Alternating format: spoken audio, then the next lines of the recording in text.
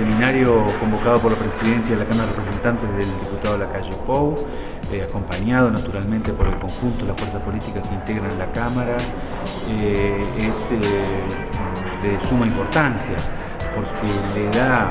una resonancia al tema del caballo, su realidad actual, la legislación y la proyección, que convoca a, a través de diversas organizaciones a miles de ciudadanos que de una forma u otra, eh, directa o indirectamente, tienen vinculación con multiplicidad de, disciplinas eh, ecuestres.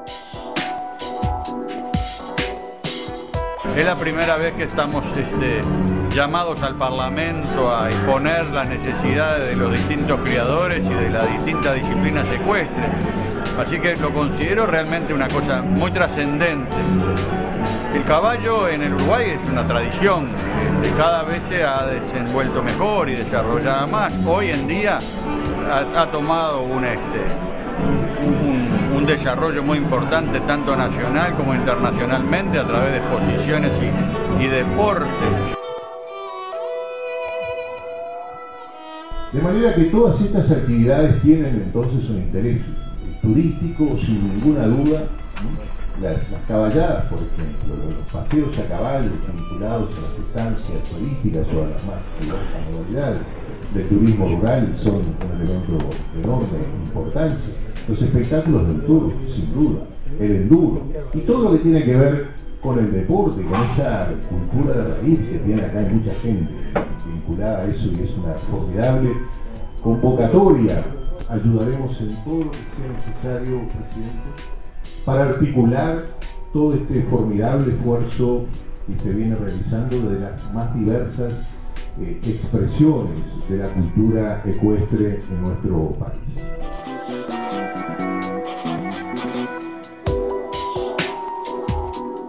Estamos en un momento en el que el equino tiene un auge impresionante eh, no solo económicamente, sino también este, a nivel de participación, a nivel de familia, a nivel de competencias, incluso a nivel internacional. Entonces es bueno que esto suceda, eh, las distintas razas acá eh, han expuesto cuál es la problemática que están teniendo y ahora en la tarde van a ver las representantes de las distintas disciplinas y creo que todo lo que pueda llegar a aunar criterios y a favorecer la cría del equino es bienvenido.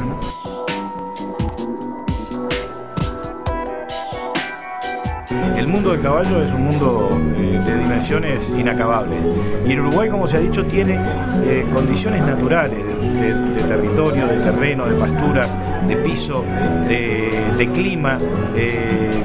condiciones culturales de gente preparada durante, durante años, durante 100, más de 100 años en el trato con el animal, con el equino, que le hacen o lo ponen hoy en condiciones inmejorables para que eh, a nivel internacional se pueda competir adecuadamente. Por primera vez eh, en el país se está realizando, así como tuvimos la mesa encuentro el otro día en el Ministerio de Turismo, este seminario presidente de la Cámara de Representantes es muy importante. Y bueno, y si como el tema principal, de, de, hoy es el pasaporte equino, si el, gobierno, si la Cámara de Representantes logra sacar el pasaporte equino para nosotros, para las geniales y para todo el, el deporte ecuestre, sería fundamental y el Uruguay sería para arriba.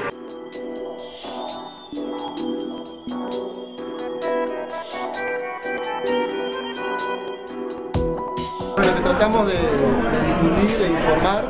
eh, fue sobre los beneficios que aporta la quimioterapia, a quiénes está dirigida, eh, cuál es el tipo de caballo que se utiliza para la rehabilitación ecuestre, cómo está eh, legislada y regulada la quimioterapia en nuestro país. hace unos años que se ha visto el primer incremento de clubes y de centros que trabajan con la rehabilitación ecuestre entonces, a través de la Comisión de Asuntos Secuestres, que funciona a nivel ministerial, se ha tratado de eh, legislar y regular todos esos centros y esos profesores que están dando esas clases. Bueno, eh, la verdad que Uruguay está bastante bien en ese tema, ya ha logrado sacar el decreto y la ley. Eh, países como por ejemplo como Argentina, Chile o Colombia, países mucho más grandes, están trabajando también con la rehabilitación, no lo tienen todavía, porque están tomando nuestro país un poco como, como ejemplo en ese aspecto. Y bueno, mirá, para mí es, creo que es sumamente importante. Más allá de que sea la primera vez que se congrega gente de distintos puntos del país, como vimos gente de Tacuarembó, de Salto, de Artigas, de Paysandú, de Cerro Largo, creo que esto eh, es lo que estaba haciendo falta aquí en, en el Uruguay. Bueno, el diputado de la calle Pou, una iniciativa que hace mucho tiempo que viene trabajando, logró reunir a las sociedades de criadores,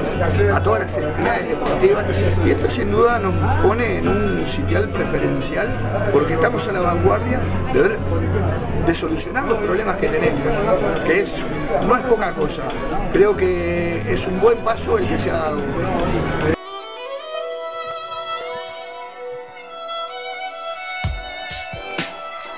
nos dejan algunos mandados, ¿no? Y ya me están dejando folletos y volantes y uno para este fin de semana, que es el tema de que están prohibiendo el cruce de la ruta en temas de enduro,